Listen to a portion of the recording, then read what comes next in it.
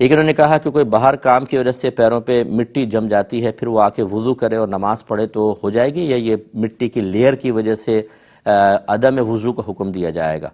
देखें, बिल्कुल हो जाएगी। इतनी लेयर मोटी कभी भी नहीं जमती कि वो पानी को खाल तक पहुँचने से रोके। कोई कीचड़ कोई बन जाती है।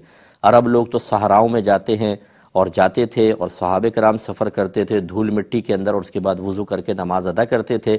ये जो मामूली सी मिट्टी लग जाती है, ये वज़ू की राह में रुकावट नहीं है। और फ़र्ज़ कर लें, अगर एड़ियाँ वगैरह फटी हैं और उनमें रेत जम भी गई है, फिर भी ये मतलब रुकावट नहीं बनती है, क्योंकि वो तो अगर दवा भी आप फटी हुई एड़ियों में डाल दें, ग्लेसरीन बाद लोग डालते हैं, कोई दवा डाल लेते हैं तो फिर अगर उसको निकालने में हरज है उसी पे पानी बहा लें, वज़ू हो जाएगा। तो फिर मिट्टी तो बदरजा ओला इससे वज़ू हो जाएगा तो कोई हरज नहीं है। एक